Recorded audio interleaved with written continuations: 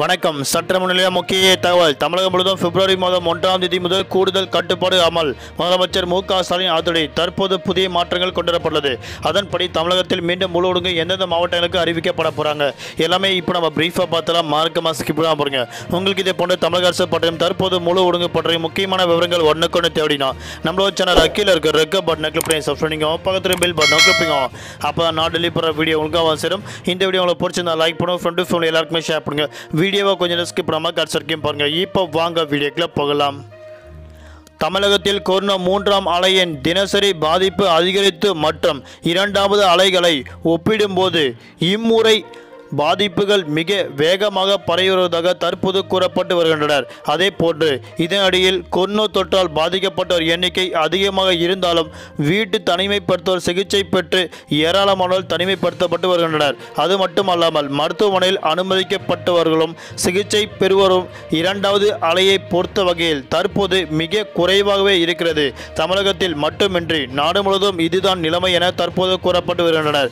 இந்நிலைமையில்தான் ஞாயிற்றுக்கிழமை மட்டும் முழு ஒழுங்கு பிற நாட்களில் இரண்டு நாள் ஒழுங்கு அமல்படுத்தப்பட்டுள்ளது. மேலும் பள்ளிகள் மற்றும் கல்லூரிகளுக்கு ஜனவரி மாதம் முப்பத்தொன்னாம் தேதி வரை நேரடி வகுப்புகள் ரத்து செய்யப்பட்டது வெள்ளி சனி மற்றும் ஞாயிற்றுக்கிழமை ஆகிய மூன்று நாட்கள் வழிபாட்டு தலங்களுக்கு முற்றிலுமாக பக்தர்கள் செல்ல தடை விதிக்கப்பட்டது திருமணம் துர்க்க நிகழ்ச்சிகள் கட்டுப்பாடுகள் விதிக்கப்பட்டுள்ளன. இந்த கட்டுப்பாடுகள் அனைத்தும் ஜனவரி மாதம் முப்பத்தொன்னாம் தேதி வரை அமுல்படுத்தப்படும் என முதலமைச்சர் மு க ஸ்டாலின் திட்டவட்டமாக கூறியுள்ளார். அதே போன்று இந்த ஆலோசனை கூட்டத்தில் ஊடக கூடுதல் தளர்வுகள் அளிக்கப்பட்ட வாய்ப்புள்ளதாக தற்போது கூறப்பட்ட நிலையில் தினசரி கொரோனா பாதிப்பு முப்பதாயிரத்தை நெருங்கியுள்ளது. இதனிடையே பாதிப்பு குறைய தொடங்கினால் ஞாயிற்றுக்கிழமை முழு ஒடுங்கு தேவை இருக்காது என தற்போது மக்கள் நல்வாழ்வுத்துறை அமைச்சர் மா. சுப்பிரமணியன் தெரிவித்துள்ளார். அது மட்டுமின்றி மாணவர்கள் எதிர்கால மனதில் கொண்டு ஒன்று முதல் பன்னெண்டாம் மாணவர்களுக்கு பள்ளிகளை தொடங்க நேரடி வகுப்புகள் நடத்தப்பட வேண்டும் என தனியார் பள்ளி கூட்டமைப்புகள் வலியுறுத்தி வருகின்றனர்.